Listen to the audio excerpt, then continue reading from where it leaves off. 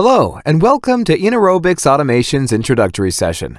Today, we are going to introduce our MT Connect module, its features, problems it solved, how to install it, and how to get it up and running. I am going to briefly introduce Innorobix Automation. We are a control system integrator based in Ontario, Canada.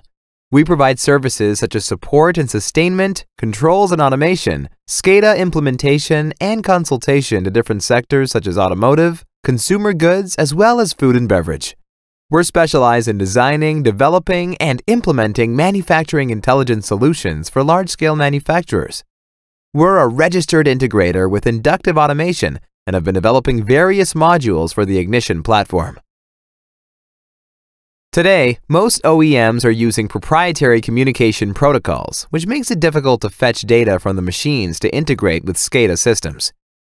On the top of that, it increases overhead such as licensing, integration, and customization.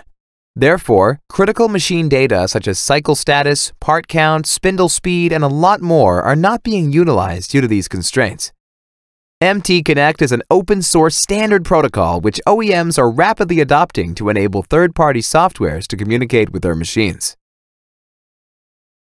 Innorobix Automation have designed and developed the first and most powerful MT Connect module for the Ignition platform.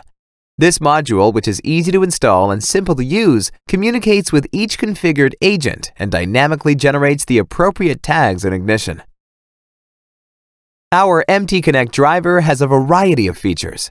This module can be configured to unlimited number of agents, and as mentioned previously, is able to dynamically generate tags. It also enables developers to easily customize desired fetch rates per agent directly from Ignition's Gateway webpage. Now let's walk through the installation of the MT Connect module.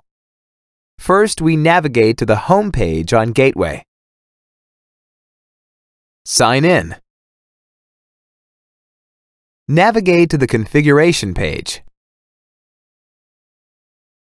Systems and then Modules. Click on Install or Upgrade module. Browse and navigate to the location where you have saved the module. Click Install.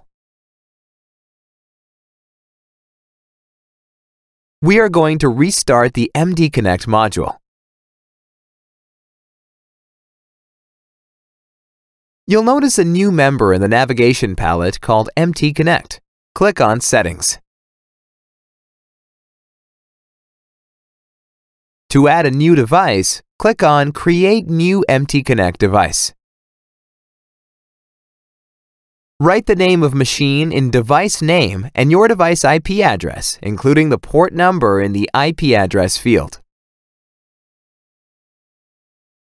In the Refresh Time field, enter the polling rate in milliseconds and then click Create New MT Connect Device.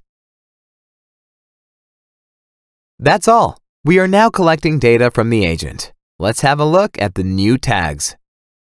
Open Designer.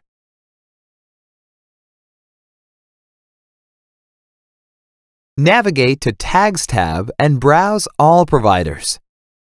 We see a new MT Connect Tags provider. You can see the newly added agents and all data pertaining to it. For example, properties such as status of coolant, hydraulic, and X, Y, and Z axis.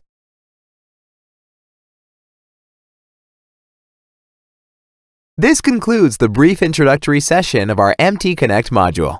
If you have any questions regarding this or any of our other modules, or if you would like to discuss your controls and automation needs, feel free to contact us. Thank you, and have a great day!